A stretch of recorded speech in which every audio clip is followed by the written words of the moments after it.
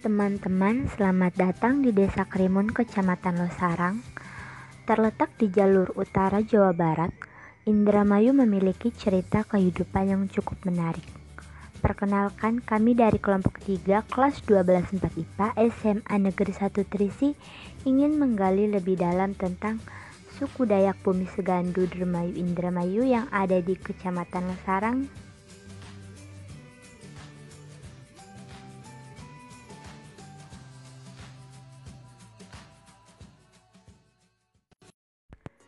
Berbeda dengan desa-desa lainnya, kehidupan di desa Krimun, tepatnya di tempat suku Dayak Bumi Segandu Dermayu Indramayu, dengan pakaiannya yang identik dengan warna hitam putih dengan pernak-pernik gelang, kalung, dan topi bambu yang menghiasi tubuhnya. Selain itu, hampir setiap pria dewasanya memiliki rambut gondrong. Selain tampilannya yang unik, di sini kaum pria yang mengerjakan pekerjaan kaum wanita. Hal itu dikarenakan adanya aturan adat yang bertujuan untuk memuliakan kaum wanita.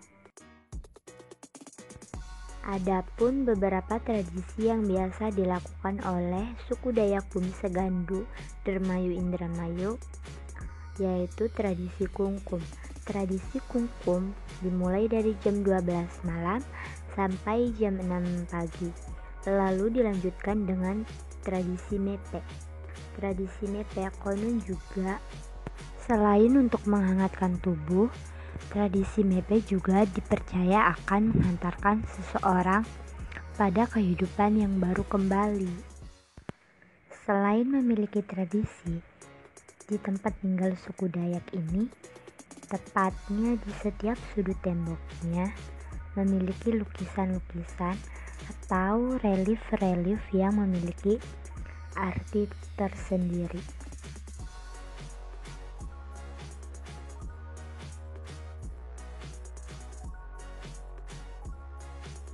Adapun tempat berkumpulnya suku Dayak ini yang diberi nama aula.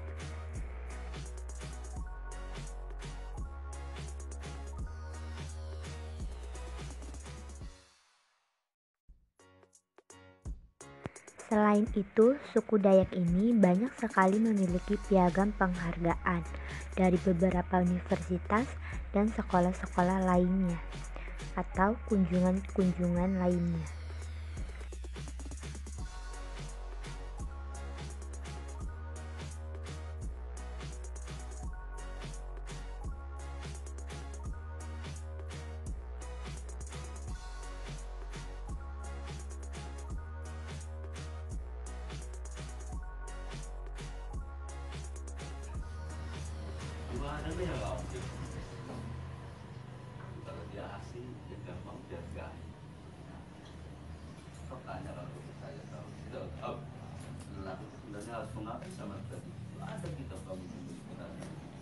Yang